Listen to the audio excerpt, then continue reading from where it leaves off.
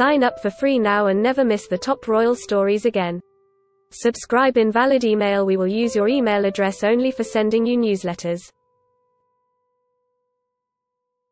Please see our privacy notice for details of your data protection rights.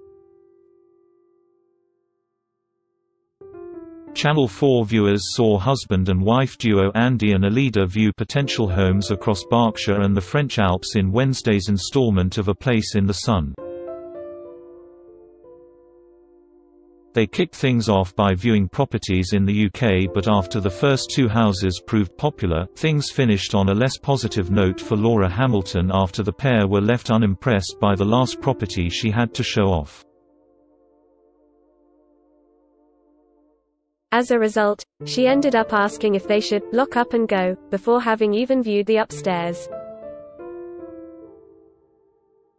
Tonight's pair had a generous sum of money to play with as they looked to downsize from their current home in the UK.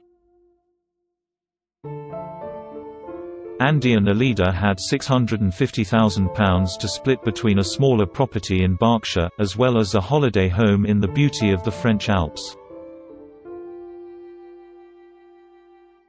Laura got them started and showed them two houses which both seemed to tick all of the boxes. However, the couple were clearly not convinced by the third property she had to show them around. Read more. A Place in the Sun. Jasmine Harman tells guests to conduct viewing solo Read More A Place in the Sun presenter Laura Hamilton wears mask incorrectly Laura revealed it had once been owned by the former mayor of Bracknell but she could tell the buyers did not seem keen on the outside.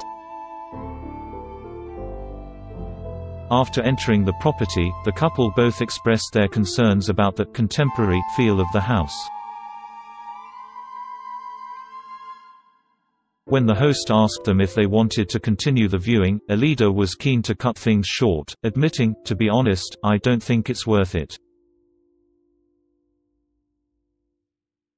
Andy agreed, adding, if I'm not getting it here in the two rooms, lounge and kitchen, it's not going to do it. This prompted Laura to stop the viewing, leading to her telling the pair, I'm not going to let the rain dampen my spirits, should we lock up and go out? The pair agreed, soon leaving the property behind after not wanting to explore it any further. It was time for Andy and Alida to jet off to the French Alps next, where they were met by host Johnny Irwin. He quizzed them on what they were looking to find, asking, is it a holiday home, a second home, or is it more than that? Don't miss. Bake Off. Paul Hollywood's confession on iconic moment, explain that Neighbours spoilers, Ramsay Street legend to return to Channel 5 soap. Spoilers, celebrity SAS, who dares wins in crisis as three stars quit latest. They express their desires to eventually spend more time in France than the UK, with the host saying, Does that not make you hint different about your UK budget? Johnny persuaded them to up their budget in France to a more generous £375,000, which gave them more money to play with. The couple were charmed by all three homes Johnny showed them but eventually fell in love with the final property.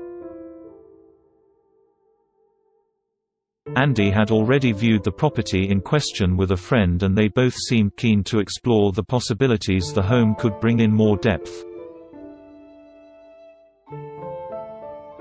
Trending Read More A Place in the Sun presenter Laura Hamilton wears mask incorrectly The pair reconvened with Johnny the next day to detail how they were feeling towards the home. Andy explained, I think we need to re-evaluate what we can afford and do a bit more research on the house with a view. Johnny revealed what they needed to research, with Andy adding, We will be researching it to a point where we can make an offer. The host concluded the episode by explaining where the pair were at. They're in ongoing communication with the agent, so I'm keeping everything crossed they'll have their dream home soon. A Place in the Sun airs weekdays from 3 p.m. on Channel 4.